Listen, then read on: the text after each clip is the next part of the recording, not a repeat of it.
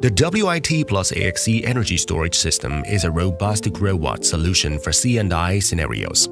It has flexible configuration and deployment capabilities, provides safe and reliable system and smart management. WIT 29.950K XHU C&I hybrid inverters cover power ranging from 29.9 kilowatts to 50 kilowatts. As a robust C&I hybrid inverter, WIT 29.950K XHU inverter has various functions capable of fulfilling multiple application scenarios. WIT XHU inverter can be compatible with AXE C&I battery system and installed as an indoors rack. The solution supports connecting up to three AXE racks to a single WIT XHU inverter, covering battery capacity ranging from 30 to 180 kilowatt hours. The inverter can be applied in single systems as well as parallel systems to extend the system capacity when installed outdoors to ensure optimal performance and long service life of WIT XHU inverters. It is best to avoid direct sunlight, rain and snow, and to install an awning over the unit. The WIT inverter can be installed vertically or backward tilted with a small angle. Please reserve enough clearance around the WIT inverter to ensure sufficient space for heat dissipation and operation. Here is the installation layout requirement for the WIT plus AXE system. A maximum of three racks can be configured in parallel and the racks can be mounted side by side with no gap in between. In addition, please make sure there's enough space for maintenance access. Before installation, we need to prepare installation tools. Here is all the equipment needed in the installation of WIT XHU inverter and AXE commercial battery. Unpack the inverter and take out all the items. After unpacking the WIT XHU inverter, check if the scope of delivery is intact and complete. Refer to this table in the manual and check the following items. Notice, please read user manuals carefully before installation. Only qualified and well-trained technicians are allowed to install and operate the WIT XHU inverter there is a handle on each side of inverter. At least three persons are needed to lift the inverter out of the package and transport it to the installation position. As the weight of the inverter is not evenly distributed, please keep your balance when you move it. WIT XHU inverters are well mounted. We need to install the wall mount bracket before installing the inverter. First, assemble the wall mount bracket. Use the wall mount bracket as the template to determine the location of the holes on the wall. Then drill holes into the wall with an impact drill. And insert the expansion bolts. Hammer them into the wall. Tighten the expansion screws to secure them to the wall. Hang the wall mount bracket on the expansion screws. Tighten the bolts to attach the wall mount bracket onto the wall. Ensure the bracket has been firmly installed before mounting the inverter onto it. It is recommended to hang the inverter with a rope for wall mounting. Please ensure the rope is strong enough to carry the weight of the inverter. After mounting the inverter onto the wall mount bracket, install the bolts and tighten them. Please check if the inverter has been properly mounted and tighten all screws after wall mounting.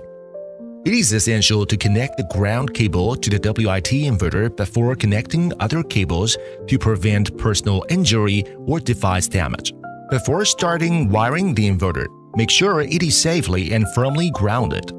The grounding point is on the two sides of inverter as the figure shows. Ground cable to the ground point on the chassis shell. For a system with multiple WIT inverters connected in parallel, ensure that the grounding point of the enclosures of the WIT XHU inverters. The metal racks of the PV modules and the batteries should be connected to the same area to achieve equipotential bonding. Depending on the size of the battery system capacity you choose, we offer two different sizes of battery racks. They can carry battery modules up to 9 45 kWh or 12 60 kWh. In this video, We use a high rack as an example. After unpacking an AXE battery system, check if the scope of delivery is intact and complete. Refer to this table in the manual and check the following items. Install horizontal frames on left frame or right frame.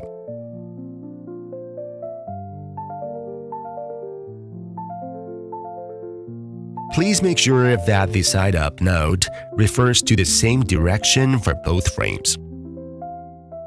Then assemble left and right frame, tighten the screws.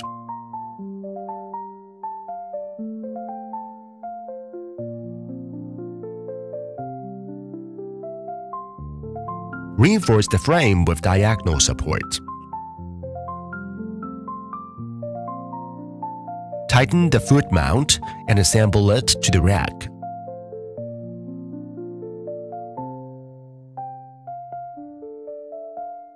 If the rack is not stable, the foot mount can be adjusted to keep the rack stable.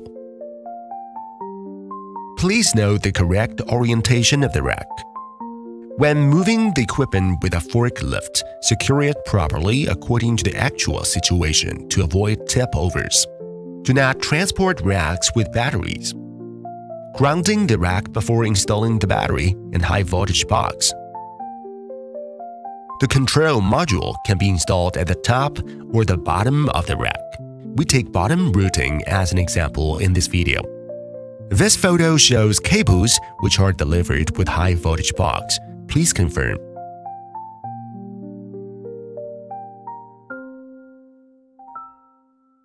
Push the high voltage box into the bottom of the rack. Tighten the screws to secure it.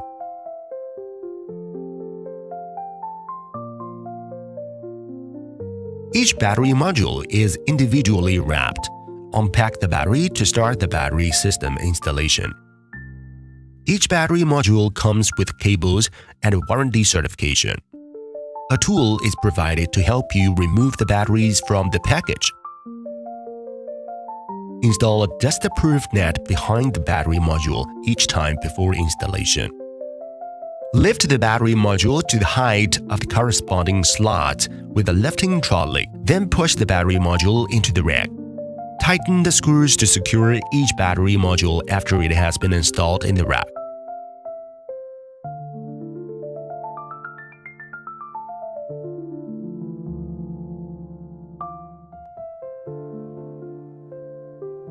Remove the right cover plate to start the AC terminal wiring. Before wiring, check the following AC terminals behind the cover plate. The rated circuit breaker and power cable specifications are illustrated in the table. Please choose the appropriate breaker or cable according to the inverter model. Before connecting cables, ensure that the DC switches on the WIT inverter are off. Turn off the switches and breakers on the grid side, gen side, and the battery side. Otherwise, the high voltage of the WIT inverter may result in electric shocks. Cut holes in the pad according to the outer diameter of the cables to route them through. After routing through the cables, determine the cable strip length based on the specifications of the terminals. 18 to 22 millimeters is recommended. Crimp the cables at the terminals. First, connect ground cable to the copper grounding bar inside the right cover plate. Then connect the AC cables at the load port. Please notice the number of grounding cables to be connected should not be less than the number of AC port sets to be connected to the system. Connect the AC cable to the load port.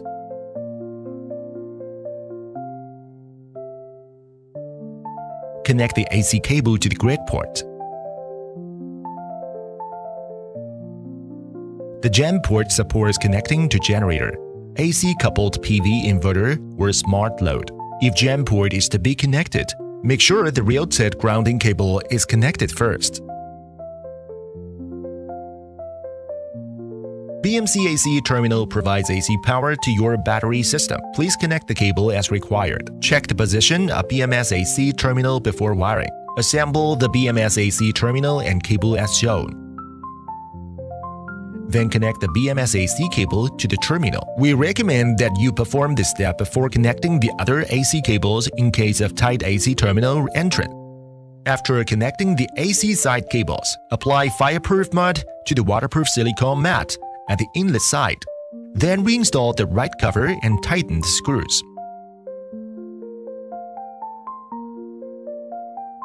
Here shows the terminals on the bottom of WIT inverter, including PV terminals, battery input terminals, communication terminals, and AC ports. Please confirm them before wiring.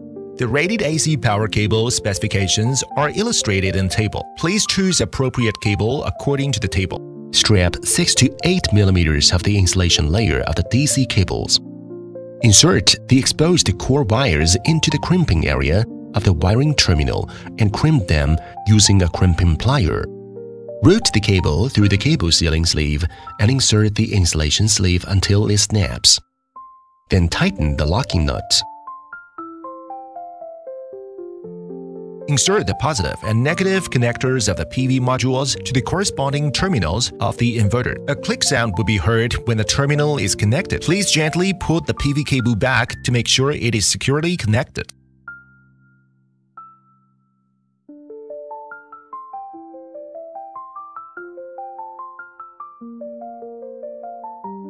Control module wiring position and diagram are shown as this figure in battery module wiring position and diagram are shown as this figure.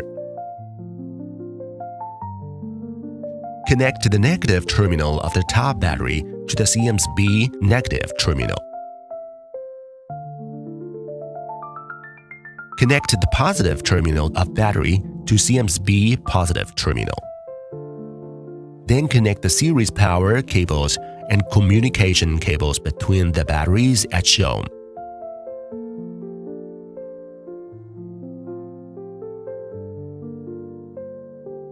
When connecting the terminals, ensure that you hear a click sound. Please gently pull back the cables to ensure a secure connection.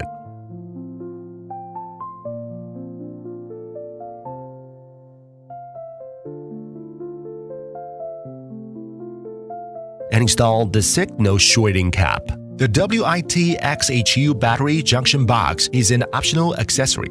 WIT XHU series inverter has three battery inputs. Each input support charging, discharging current up to 55 amperes. If the inverter is to be connected to one cluster of battery system of which charging and discharging current is higher than 55 amperes, the junction box could be applied to provide larger charging and discharging current. Here is an introduction of how it should be installed and wired.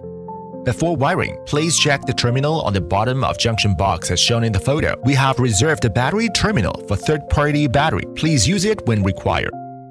The battery junction box can be mounted on the inverter. Please ensure it is firmly installed. Remove the cover plate and protection cover of junction box. Connect the tap line to the junction box.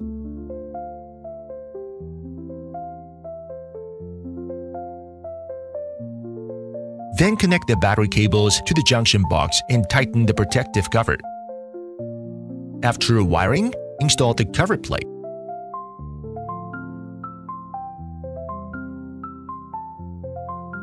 Before connecting the battery cables, secure the battery terminal anti-dismantle element onto the inverter using the screws. Route the battery cables through the battery terminal anti-dismantle element and insert it into the inverter. When connecting the terminals, ensure that you hear a click sound. Please gently pull back the battery cables to ensure a secure connection. Then secure the anti-dismantle element to the inverter. The COM1 terminal of the WIT 29.950K XHU inverter includes 9 RJ45 ports. It is used for parallel connection via para-in and para-out communication terminals, battery communication via BMS1, BMS2, and BMS3 terminals, and external equipment communication via RS485 and DRMS function. The pin definitions of COM1 port are as illustrated. In the video, we connect one communication cable as an example. Please connect the communication cables to the corresponding terminals as required. First, remove the fixing screws and disassemble the COM1 waterproof cover. Then lead the cable into the holes in the cable gland. The five-hole fastening rings inside the cable gland are with openings on the side. Please separate the gap with hand and squeeze the cables into the holes from the side openings. Hole diameter 5.5 to 7 millimeters. Route the cables through the COM1 terminal waterproof cover. Connect the cable to the WIT inverter. Then tighten the COM1 terminal cover and secure the screw. Connect the power cable, BMS AC cable, and communication cable to the high voltage box.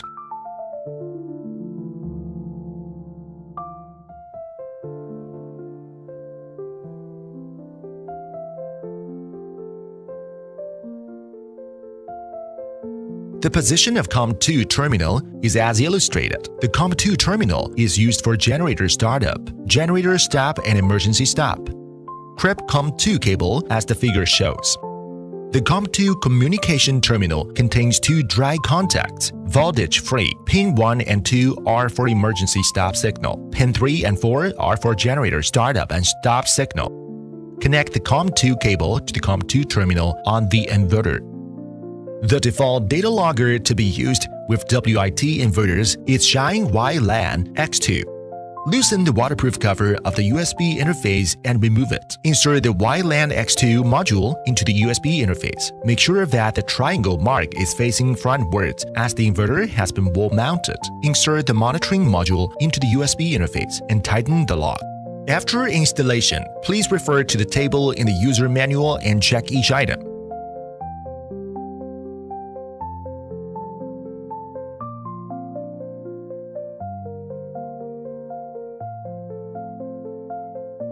Then turn on the DC switches.